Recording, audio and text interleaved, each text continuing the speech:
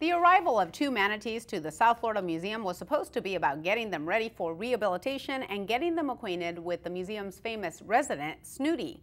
But things today didn't go exactly as planned. Take a look at what SNN local news photojournalist Chris Kennedy captured upon the manatees' arrival. Good.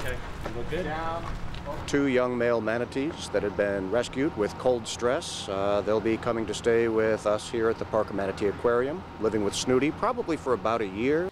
That's the plan, but what was supposed to be a transfer of manatees from this truck to a crane lifting them to the second floor of the museum, to a holding pool, and then to the main pool with Snooty turns out to be anything but routine.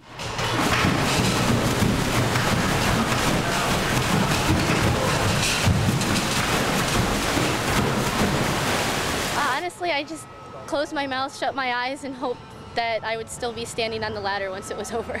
This is Longo. He was rescued off of Longboat Key last January. He weighs 675 pounds and is 7 feet 3 inches long. That packs quite a punch if you're on the receiving end of a less than calm introduction into this holding pool. The, the tail started kicking and the manatee started splashing and I just really lost all sight of what was going on, so I just waited and held on. By contrast, Snooty's other new friend, Chino, arrived to the museum in textbook fashion, no fuss, no mess.